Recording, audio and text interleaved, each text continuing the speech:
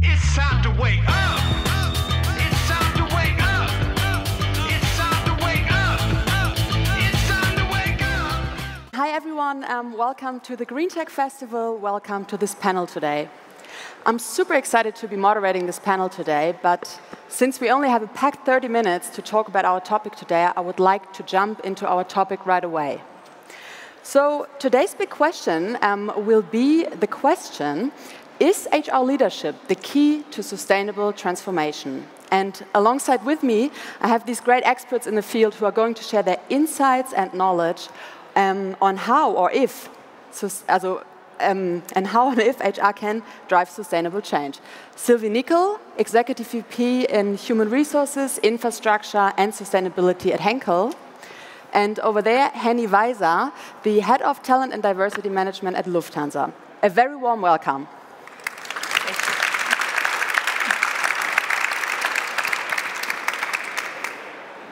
So, Sylvie and Henny, um, I would like to ask both of you just briefly introduce yourself again. Um, who are you and what is your relation to the topic? Sylvie, would you like to go first? Yes, thank you. So hi everybody, very happy to be there. So my name is Sylvie and I'm actually uh, responsible at Henkel for human resources globally, but as well for what we call corporate sustainability and I'm a member of the management board of Henkel for five years. Thank you. And Henny, how about you? Who are you and what's your relation to the topic? Well, um, at Lufthansa, I'm responsible for making sure that we attract and retain the, the, the people that we need, right, to create sustainable uh, change in our industry, uh, to do our job well. Um, so uh, um, I'm heading a section that runs talent programs, that runs diagnostics, uh, that runs performance management. So we have different levers to, uh, to make sure we create change here. Thank you so much. Yeah, I would like to jump into the discussion. As said, we only have 30 minutes, so let's start. Um, Sylvie, the first question goes to you. Um, on your LinkedIn profile, I read the following My team's mission is to build a strong company culture and empower our people to enable a successful business. What does a strong company culture actually mean to you? Good, so first I'm glad you've been reading the LinkedIn profile. Um, so maybe to start with, uh, at Henkel we identify three levers to drive sustainable progress. Uh, our products, our services, technologies. Uh, the second one is our partnership with our customers, our suppliers, or with startups or other companies. And the third one is our people. And speaking about the third one, our people, we truly believe that creating a culture where sustainability is at the center is of utmost importance to drive progress. That starts with the values. So sustainability is one of our five values at Henkel. That goes on with the purpose of the company, which is uh, pioneers at heart for the good of generations. So you feel here it's not only about doing business, but how and why you do business, also thinking about the future. And that goes on with the leadership behaviors that we strive for. We have four, but two of them are relevant in that context.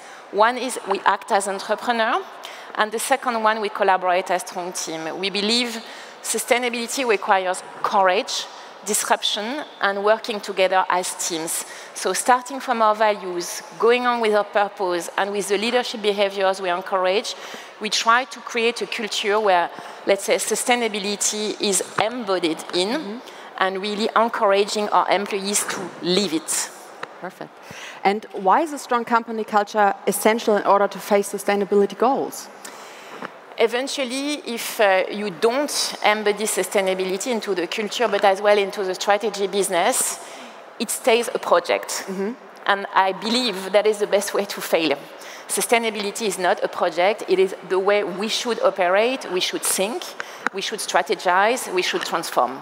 Therefore, it has to be part of this strong culture where we empower people and we strengthen their ability to collaborate. Thank you. Yes. Round of applause. Thank you. Henny, Lufthansa Group um, operates in an industry with significant environmental impacts. How relevant are Lufthansa's environmental objectives in terms of your talent management? Yeah. Um, well, I think some of you know we have quite ambitious uh, goals. We want to be carbon neutral in 2050. uh, and that requires some, some serious engagement, some bold decisions, lots of innovation. Um, and from my experience over the last couple of years, this plays a crucial role in talent management in two different aspects. First of all, uh, we can measure that there's actually an expectation from the, from the young generation, from the next generation of talent that we're trying to attract, um, to see uh, um, authentic commitment to the cause. People don't want to work to a company that, for a company that is part of a problem. People want to work for a company uh, that, that aims at being part of a solution, right? Um, so uh, we feel it's absolutely necessary in our HR marketing campaigns, in recruiting, uh, to talk about sustainability, to talk about what we do, and how a, a young person, an incoming person, actually can contribute. Because that is a second thing that I observe. Uh, people don't want to go to work and get paid. People want to make a difference with what they do. Yeah. Um, so that means that in talent management, we are creating platforms and programs for people to do ex exactly that. Uh, we have very successfully established a trainee program, the Green Mobility Trainee, uh, that is focused uh, on the topic of, of sustainability, uh, of working on projects dedicated to the cause. Uh, we have a program for high performers dedicated uh, to uh, working on challenges, uh, making suggestions to the company. Uh, and we feel this is being appreciated, but we're al- also being measured against this, right? Are we really serious about this? Are we authentic uh, with that offer? Um, so I'm, I'm personally taking that very seriously and trying to make sure to create that, that space for innovation and collaboration uh, that Sylvia also talked about. So are you constantly adapting um, those trainings, etc., to um, be on track of time as well? Absolutely, we have a process of re- revisiting what we do every year. Uh, also, of course, considering the feedback that we uh, that we get, we're very strongly collaborating with the people um, in sustainability management, in innovation, uh, to make sure we have the right content and the right partners. Um, and I think we're in talent management, we're very humble. Like we're not the experts um, on all of these topics, but we have great experts around us. Um, also in the startup world, where we collaborate, um, and we're trying to bring that all in uh, to make sure we, we have the knowledge in the company uh, to, to take the steps forward that we need to take. Sylvie, um, I have the feeling there is a perception that sustainability always deals with contradicting targets. Let me make an example being carbon neutral versus profitability. Is that true? Have you some experience on that? Yeah, I, I would say yes, there is some truth into it. Um, that's a topic I'm very passionate about, I have to say. So I've been 20 years in the business before doing HR and corporate sustainability, and uh, doing business is also a lot about contradicting targets. Yeah. And I think sustainability is not different. So you always have two ways to think at things. Whether you think in terms of challenges, costs, constraints, it's difficult, or you think in terms of opportunities. And the moment you start to think in terms of opportunities, you see less contradiction because actually, what eventually, initially, you might see as a cost to transform, uh, you might discover that there are fantastic business opportunities because it's an encouragement to innovate. And sometimes you come to very innovative disruptions which will create opportunities on the markets. Oh. It ca- you can also discover that sometimes it's an opportunity actually not to spend but to save because you come to solutions which allow you to optimize your P&L or to eventually diversify your sourcing strategy. So not being dependent on one, but having multiple sources or suppliers you can deal with. So I, I really believe it's a question of mindset. I don't want to be naive and to say there is no cost in sustainability transformation. For sure there is one. But you also need to think in terms of cost avoidance. Mm-hmm. You know, if you don't change now, the cost which might trigger in the future might be tremendous. If you don't change now, there is an opportunity that eventually you will not be in the business Yeah. in two decades. So what might seem today like a really challenging situation to deal with, if you extend your time frame, if you extend your way of thinking, can really become an opportunity. But it takes sometimes hard work to explain it and to move from this, oh, it's tough, it's challenging, it's cost, to yes, it's great opportunity, it's transformative, it's long-term oriented, and actually at the end, it will be your license to operate. Uh, Thank you. Um, I really like the emphasis. Thank you so much. Um, what is like? What is the advice? Do you have an advice for other C levels or um, founders, company owners? What can they do to to get the courage and to actually go that sustainable way? Because it is. I mean, if you do have challenges on that way as well, it's obviously quite. Um, yeah, it can be very disturbing. But how do you encourage people to say, look, go take that courage and go that way, be sustainable?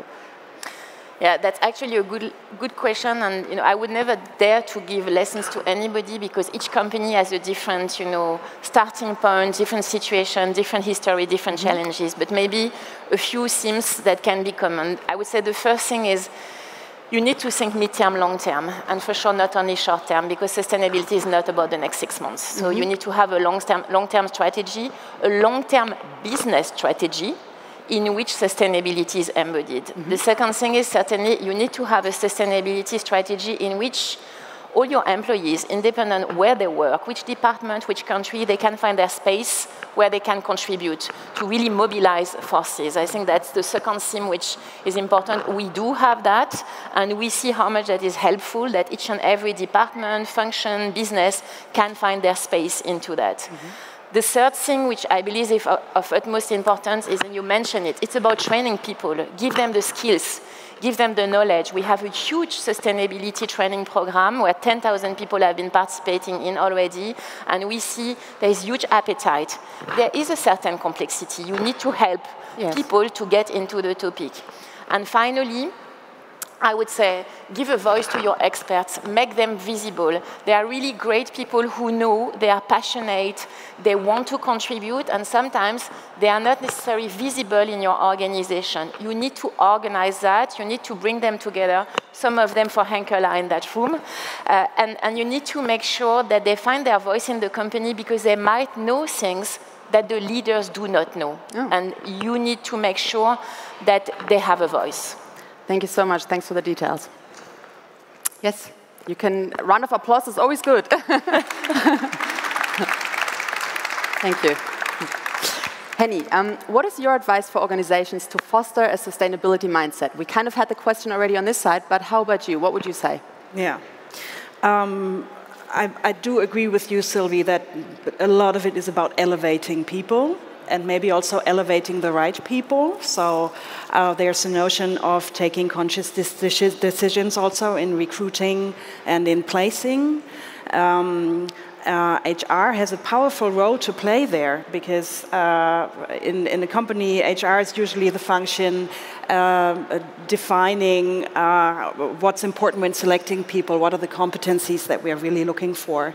Um, and I'm, I'm, sure Henkel has done the same. We've built a sustainability mindset uh, um, into our competence model. So we're actually measuring people's performance against are they thinking beyond today? Um, are there, do they have a strategic foresight? Are they looking for solutions that will work the day after tomorrow as well? That's an expectation that we're very explicit about. Um, and I think this creates change, especially on the on the leadership level. And um, there again, then it, role modeling is taking place. People see, okay, if this is the way uh, you think, then you can be successful in this company. Um, and um, finally, uh, again, I think it's about visibility, right? Making sure you create a psychologically safe space for people to stand up and speak up and become visible with their expertise and um, their um, assumptions about the future.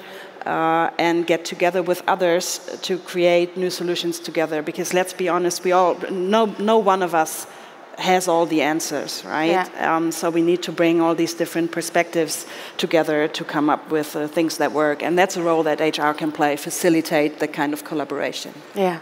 Thank you. That's a good bridge to my next question for you, Sylvie.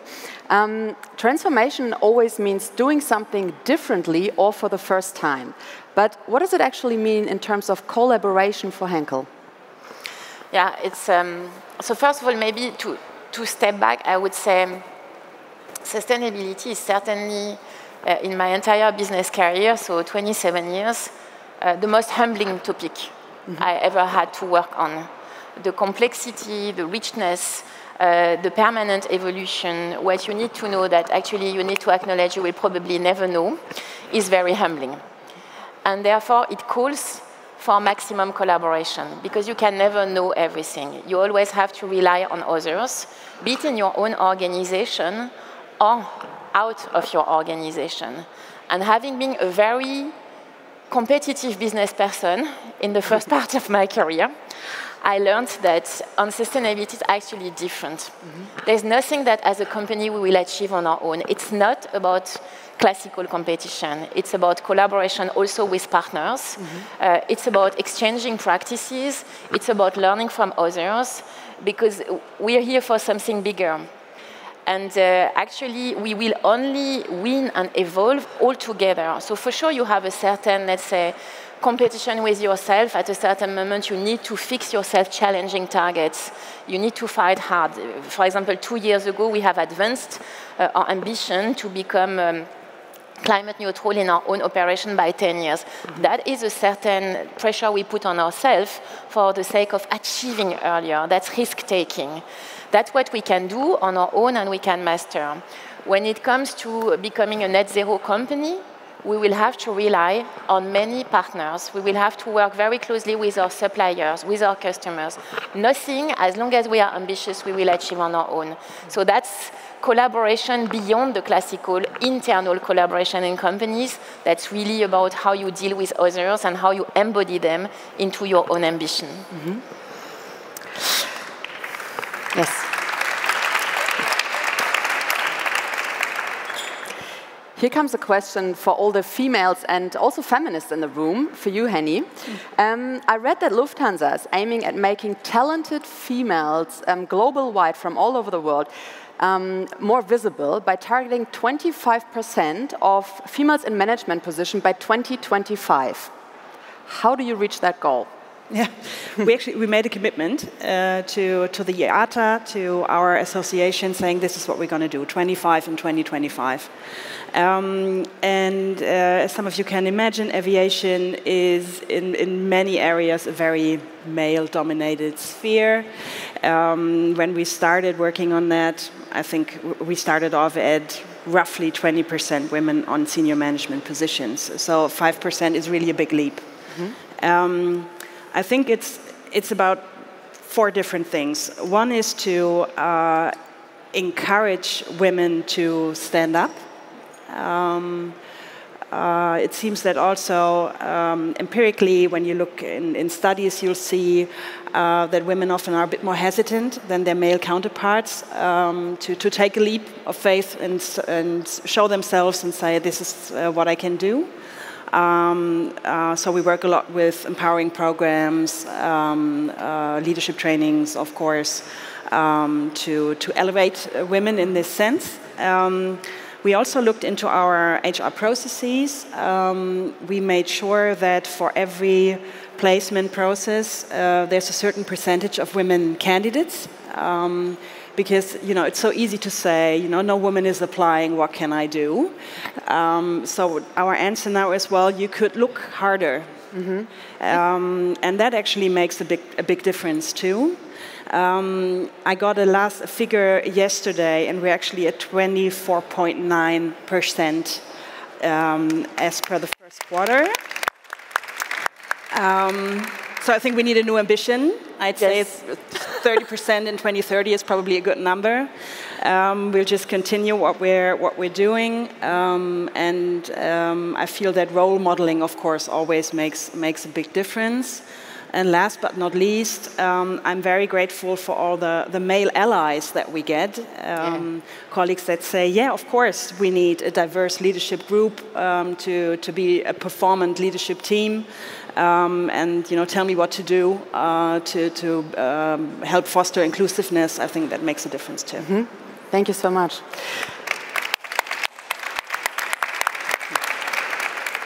So, taking a look at the time, we got roughly seven minutes left. I would like to ask each of you one more question, and then I would like to wrap up the panel. So, Sylvie, as far as I'm concerned, um, an equally positive question for your side and for Henkel. As far as I'm concerned, um, Henkel plans to become climate positive by 2040. What steps are being taken within the HR department to support this goal? Alors maybe I start first with corrective statement. We used to plan to become climate positive in our own Okay. operation by 2040, Yeah. and now we have committed to achieve that in 2030. So we Oh, have wow. we have anticipated our ambition, um, and and that's. Uh, in our own operations, uh, and uh, and that's really on the and maybe a good opportunity to also give credit uh, that goes to all the colleagues who are working in our, all our production facilities across the world, uh, because that takes huge efforts from everyone to transform our operations, to go to renewable energy, to master all the processes that they have been mastering so far differently in the future. So to use all options that they have at hand to transform the way we produce for Henkel. But I would say that's only a small piece of the transformation we have to execute because, as you know, the real sustainable transformation will come with the fact of becoming a net zero company. And for that, we are working hard on defining our pathway. We have not yet committed to an exact year, mm-hmm. but for sure that will come. We are working on defining that. So that, that's, let's say, one part of the ambition that we have. We have many more ambitions when it comes to environment, uh, because certainly that is only one component, but there is much more that companies like us can do, be it on circularity, be it on water. So we are covering all that, that these dimensions. And that's certainly not the end of the journey because, as you know, in sustainability, there is environment, but there is also social responsibility. Yes. Which plays a very important role, and where we believe, as a company dealing with 47,000 people in all the regions in the world, we have a role to play, be it with our employees, be it with our communities.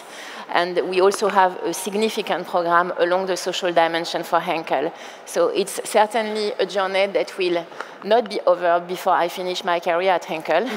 Hopefully, uh, we will try to uh, maximize the impact that we can do in the coming years and lay down the plans. But uh, that is certainly something that will keep the next generations extremely busy to transform for good. Yes, a round of applause is always good. You don't have to Thank do you. that each time. Yeah. Okay, well, this, um, especially the part of social responsibility, gave me a good bridge again for, for the last question for you, Henny. Um, DE and I initiatives are an integral aspect of sustainable transformation, in my opinion. Um, so, how can HR foster diversity to support sustainability goals with HR? Well, diversity has many dimensions, uh, right? Um, over the last couple of years, I think there's been a, a strong focus on gender, but that's uh, that's a shortcoming from my perspective. People can be uh, different on so many different levels. We have different backgrounds, uh, uh, different education, um, uh, different orientation. Um, and I think the most important role that HR can play is to make sure that people feel safe to bring their whole self to work.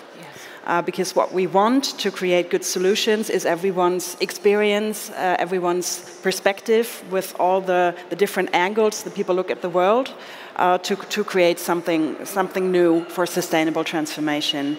Um, uh, I think leadership plays a big role to create an inclusive, environment. I've, I've used the term psychological safety. Again, we're, we're very into psychological safety. It's a term from the cockpit, so it's our, our world. And it's basically um, about making sure people are okay to speak up. And we train our leaders to uh, make sure they create this sort of environment. It's a way to go. Um, uh, because this hasn't been part of the leadership curriculum over the over the last decades. Um, but I think this is where where uh, we make uh, we make the biggest difference. Um, and then once people are there, I feel it's important uh, to connect them. Uh, make sure you're not alone Uh, it's you know it's never fun to be alone, to be the only one in the room. So we work with with communities and interest groups to make sure people can uh, give uh, peer-to-peer support, uh, feel connected to a group, um, feel at home in the company, and also uh, dare to speak up for the interests of wha- whatever the community they feel they belong to. Uh, and there's been a very, a very honest conversation going on between HR people and, and the volunteers in these communities.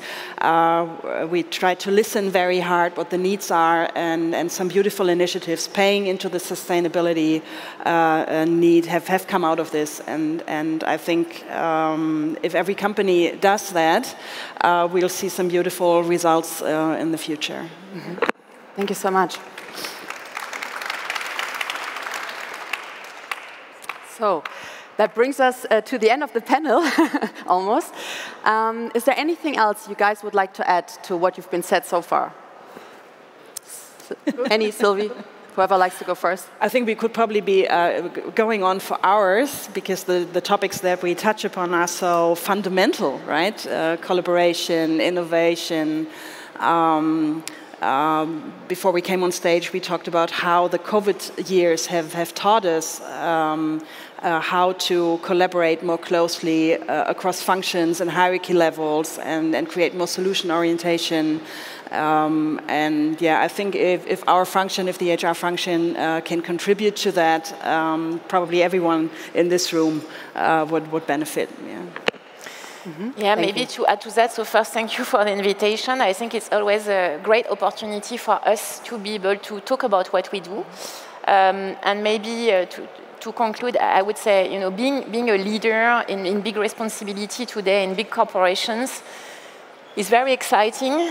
On the other hand, I believe it's a big responsibility that we need to embrace because it's, again, it's no longer about only doing business, which is very exciting, but it's also about um, certainly paving the way and, uh, and leaving a legacy for what is to come. So I think uh, business um, people never had so important responsibility towards society and towards the world. And, uh, and uh, welcome to all the ones who are willing to embrace that Yes. because it's really a fantastic journey also from a personal standpoint. Thank you so much. Yeah, to me, um, it was a very fruitful conversation. I think we gained a lot of insights, and I think it's also or became pretty clear that HR does play a crucial role in driving sustainability efforts within um, organizations, from fostering diversity to embedding um, sustainability goals into HR practices.